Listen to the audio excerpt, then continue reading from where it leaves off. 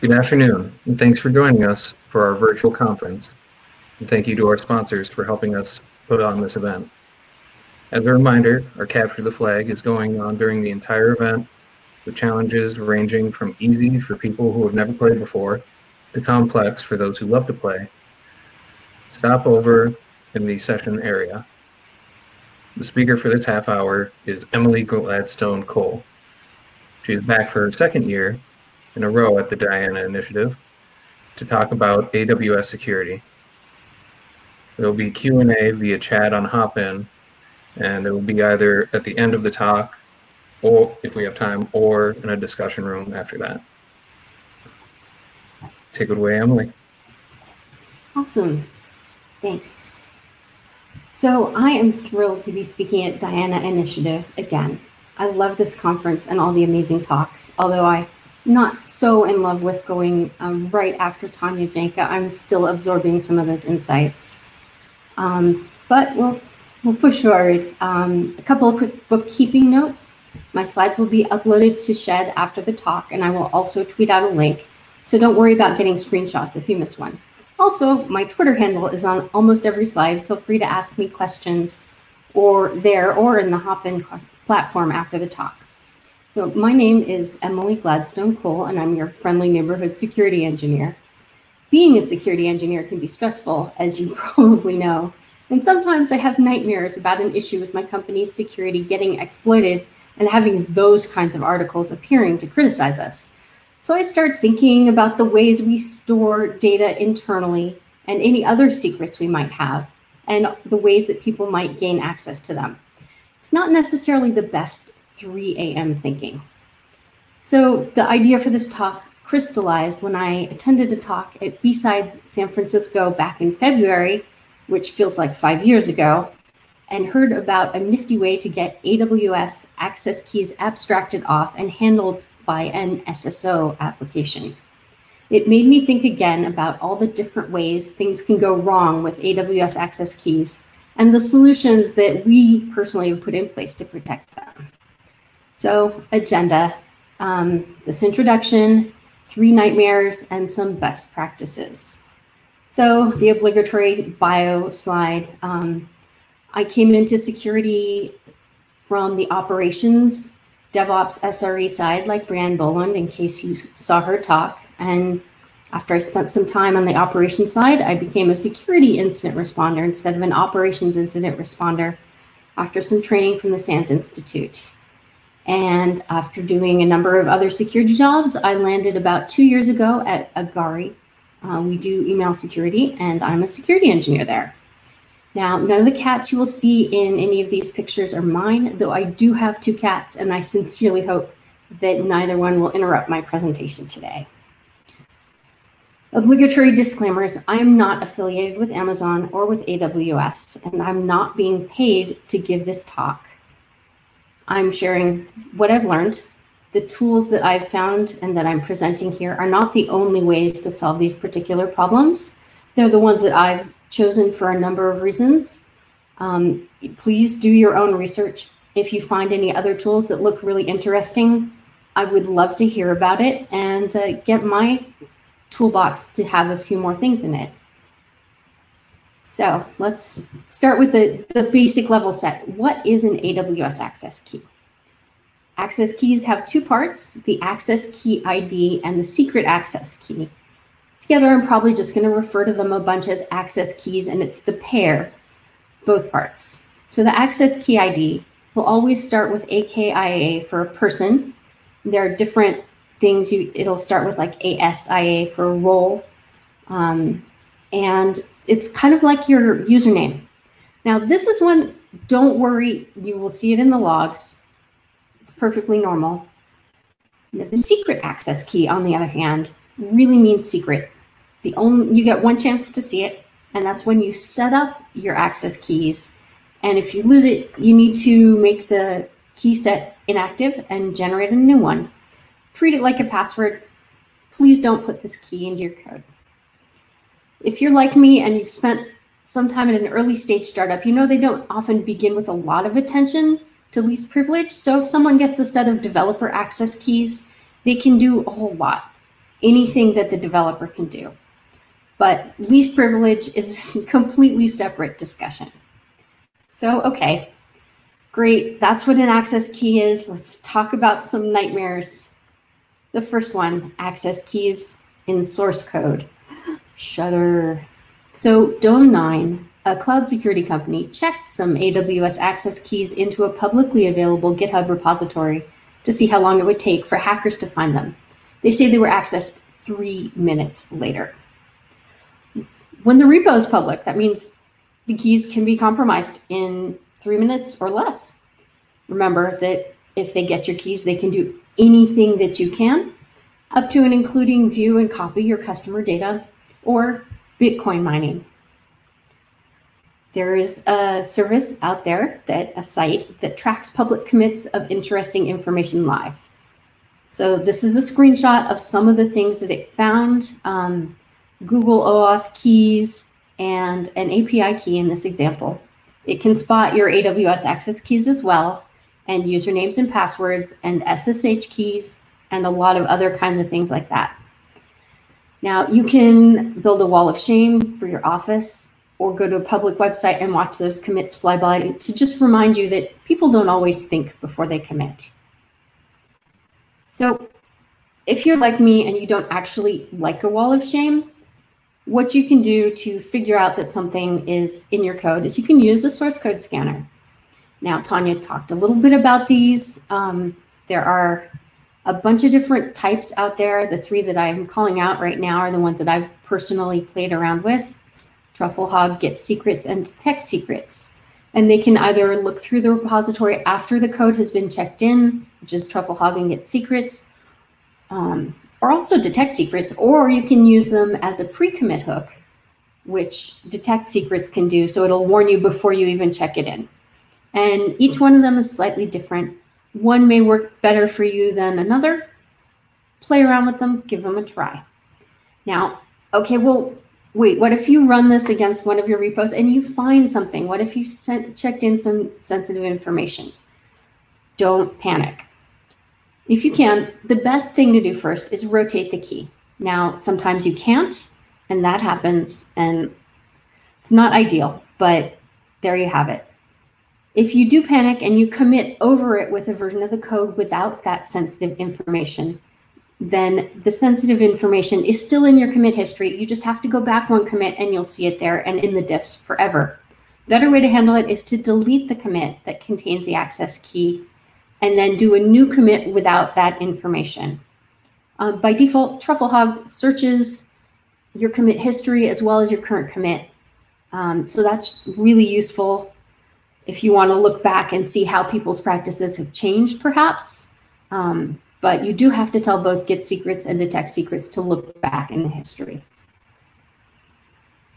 So, okay, maybe there have been some keys that were exposed. How do you know if somebody used them? Um, you can watch your CloudTrail logs, but many services like S3 don't log read activity unless they're configured to. And you still have the problem of being able to pick out what is malicious activity and what's normal activity. This is where the idea of the honeypot or a honey token comes in. Honeypots are the lures that people set up to invest, interest and trap hackers. It's data so intriguing that people will be drawn to investigate it. Things like HR database, 2020 bonus schedule. These are the same kind of things that people use as lures to get you to click in a phishing email um, they're you know inherently compelling. Hey, let's find out about money. Um, side note: the first use of a honeypot technique that I know of is in Clifford Stoll's book, The Cuckoo's Egg, which is a very early computer security and forensics book, and it's a great read, especially if you're like me and you've spent a lot of time working on Unix systems. So, okay, how do you do a honeypot? How do you do a honey token? Let's say you store some kind of private data you don't want to search the internet for that data because then you've exposed it to whatever tool you're using to search, right? That's bad. So use fake data. People came up with the idea of putting honey tokens into their databases or into documents so they could figure out when someone was accessing data they shouldn't because they were also accessing that fake data. Canary tokens are a free variant of that idea. They have a bunch of different formats and alerts can be generated when the token is accessed either to an email address or a webhook. And if your developers are like my developers, they'll kind of find this idea kind of fun. And it's a nice way to play around with some security concepts and get them thinking about who can access their data. So, nightmare number two old access keys. I took this screenshot from a production account at one point uh, in AWS. I won't say if it's current job or past job, but this was production. And 1626 days, that key on the bottom, four and a half years old, but it was still being used that very day. And hey, now it's even older than that. Um, access keys don't automatically retire.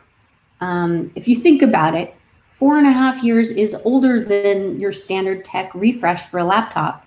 And most techs are going to jump on that brand new laptop as soon as they can. They're not going to want to stick with one that's four and a half years old. So this key probably went from an old laptop to a new laptop. And think about your hard drive and laptop decommissioning processes. Do you clear those out properly? Do you wipe drives before you get rid of the laptops in whatever way? If not, maybe somebody just bought that um, access key on eBay and they're able to use it. That would suck. Um, my philosophy is hey, the longer an access key is around, the longer you have a chance for somebody to make a mistake and to have something happen to that key accidentally. So it's probably bad to keep them around for too long. So, what's the solution? you rotate your access keys. If I know that any key that's on disk somewhere will stop working tomorrow, it's much less of a nightmare. Now, there are tools that will help you do this automatically if you want to. You can do it manually. Um, this one tool, AWS Rotate IAM Keys, works for end user credentials, best for end user credentials that only need to be found in one place by rotating them every day. But that doesn't work for application users say you've got two web hosts and they each need to have access to the credentials. If you rotate on host A, then host B is out of luck um, once it's been rotated. Still, the thing that I like about using this tool is once again, it's an intro to the developers to the practice of rotating keys. And once they start thinking about, oh, I should rotate my personal keys every day, then they're more open to the idea of, hey, I should rotate my application keys as well. So that leads me to my next nightmare, access keys on disk. It's related to the previous nightmare, of course. My previous two scenarios, the access keys are sitting there. Generally, they are on disk. Even if they do expire quickly, they're still sitting right there for the taking.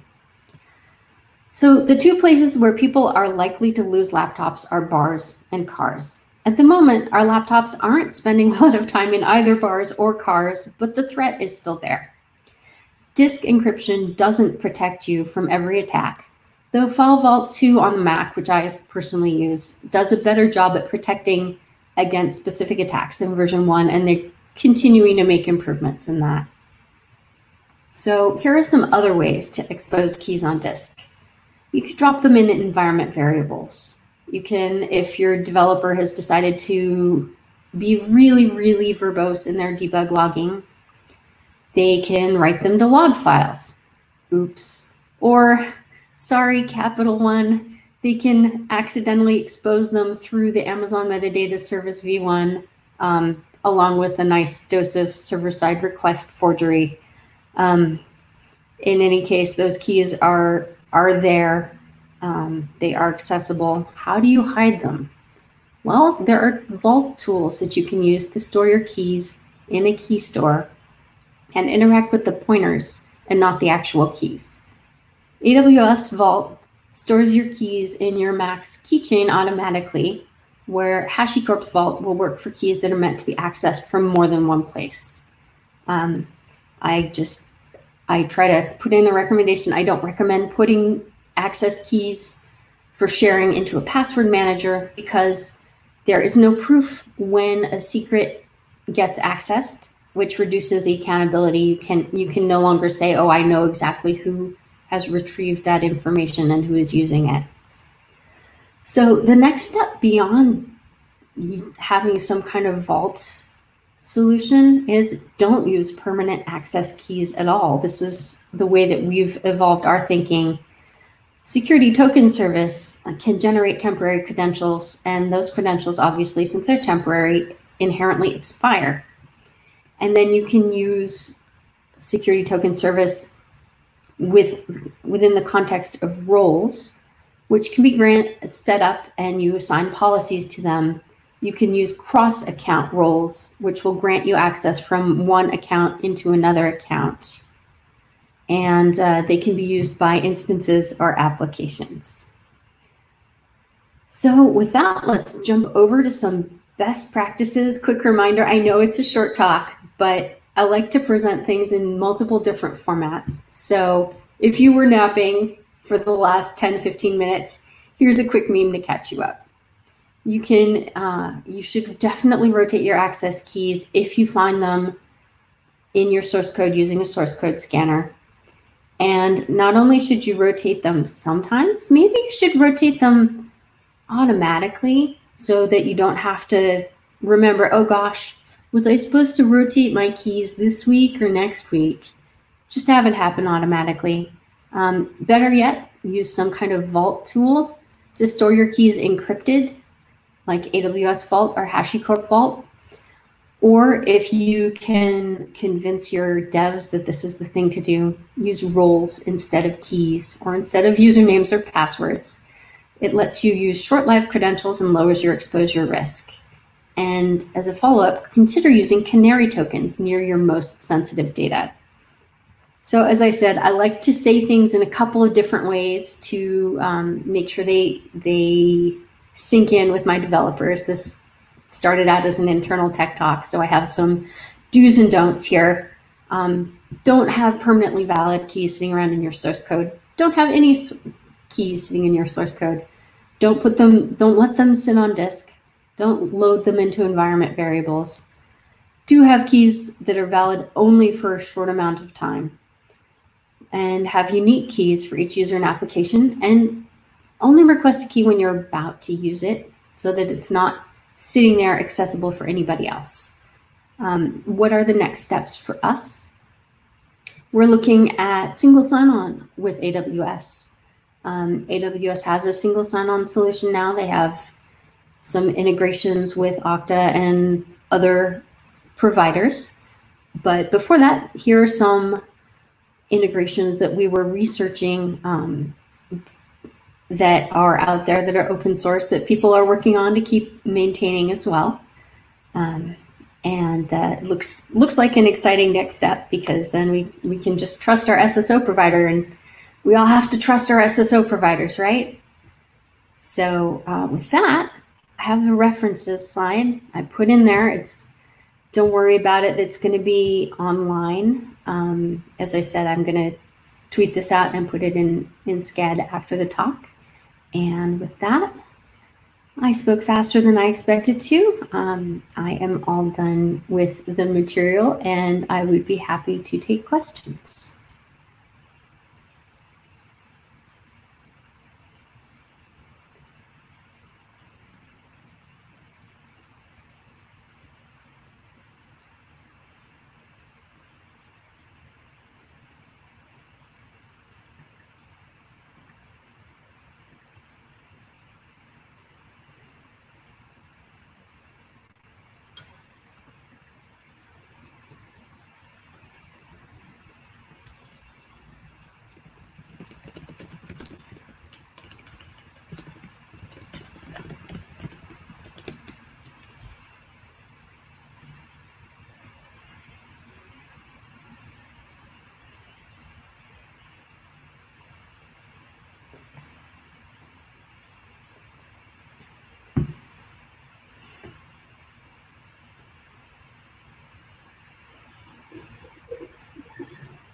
Uh, looks like we do have one question. Yeah, sorry, don't mind my co. Co-present. yes, uh, from Mary Wang. She asked, uh, "What do you think about HSM? HSM? Is that very popular?" So H HSM is a hardware security module. Um, they are ways of doing key management. Um, they are. It's it's kind of a next stage of, um, or a slightly different stage of dealing with uh, with your your key material. Um, you can you can think of them as kind of loosely as a um, as an alternative to Vault, although they are um, there are other uses beyond just the things that you put in Vault, which is purely a store.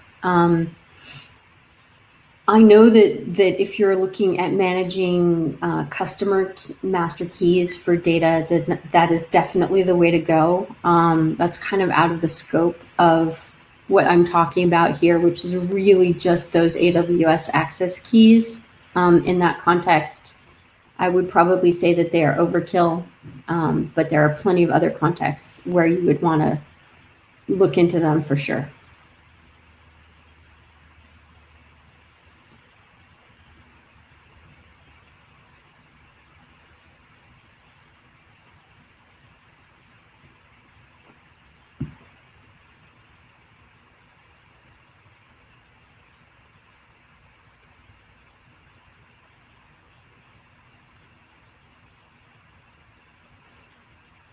Do we have any other questions? Um, oh, hey, Allison. Have I had issues with developers refusing to move to best practices and or overuse of permissions? Oh, absolutely. Um, yeah, definitely. Um, there can be a there. I've seen the philosophy plenty of times where a developer is just, I want to get this done. I want to get this out. Um, you know, whether it's from they're building something in a Docker environment on their local machine and they don't worry about permissions, and then they push that container to prod, um, or in the dev account, I let my developers have pretty much admin privileges so they can play with new services or tweak things as they need to.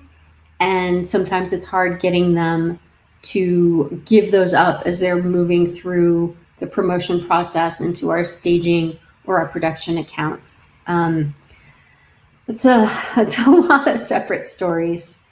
Um, so how do you uh, quickly how do you deal with that? Um, you, I like to have a, a discussion of risks around um, around those privileges. Um, if you have a risk assessment, if you do threat modeling, uh, that's a way that the developers can help can find out that it's potentially it's really bad for the company to do things that way and get them bought in. Um, all right, I see one last question there. Is there a good way of scanning leaks of corporate keys that are already out in public GitHub repos? So you can, um, the tools that I was mentioning for source code scanning, you can run them against a public repo, against a private repo. You just need to download it and run it.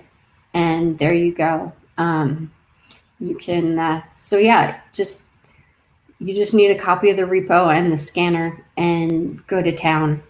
Have fun or, or don't have fun. Um, and I hope it doesn't spawn any nightmares for you.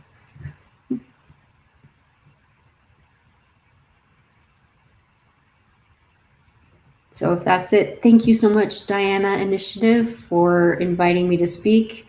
Stick around, there's going to be lots of amazing talks. And uh, thank you so much for your time and attention.